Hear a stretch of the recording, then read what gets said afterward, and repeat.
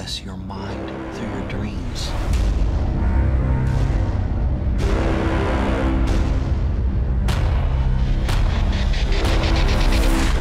It's called Inception. Inception's a project that demanded this very large-scale approach. As soon as you're entering into the idea of what can the human mind conceive of, what world could it create, you want to see this on a grand scale.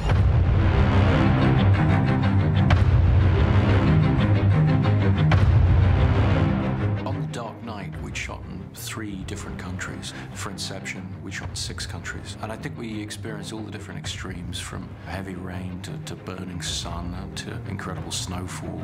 We really wanted to try and test ourselves in terms of photographing things in real places.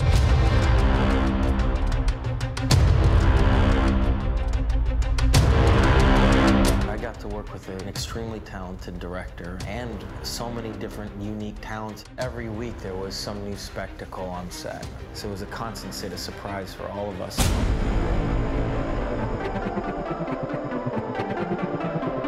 People actually being in a place that adds a massive amount of credibility. Taking the actors up to the top of mountains, taking them underwater and just all over the place. It's about trying to envelop yourself in the jigsaw puzzle of what Inception is and our emotional journeys amidst this giant canvas of, of the dream world. I really wanted to put together a great ensemble for this movie.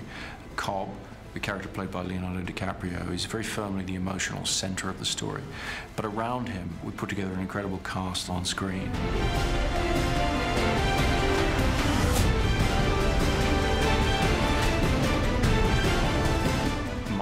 Was to create a story and a world that embraced all different types of human experience, all the different types of grand scale Hollywood entertainment that uh, I like to imagine is going to come on screen when I sit in the movie theater.